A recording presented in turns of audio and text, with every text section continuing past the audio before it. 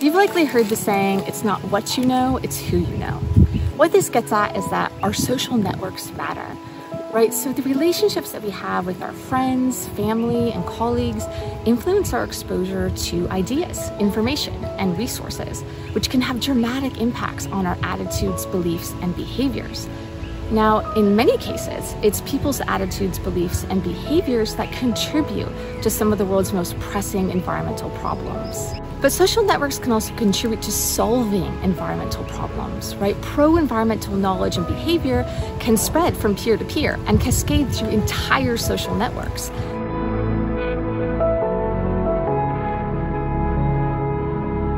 The planet is currently facing significant environmental problems. Climate change alone is already affecting every region on Earth, and its impacts, things like droughts, floods, and heat waves, present a significant risk to human life and the ecosystems that we depend on.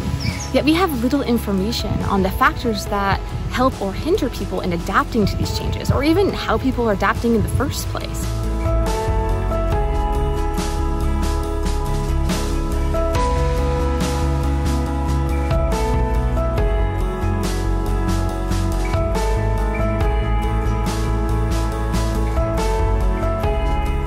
These insights can help us to more effectively diagnose environmental problems and point us toward potential solutions.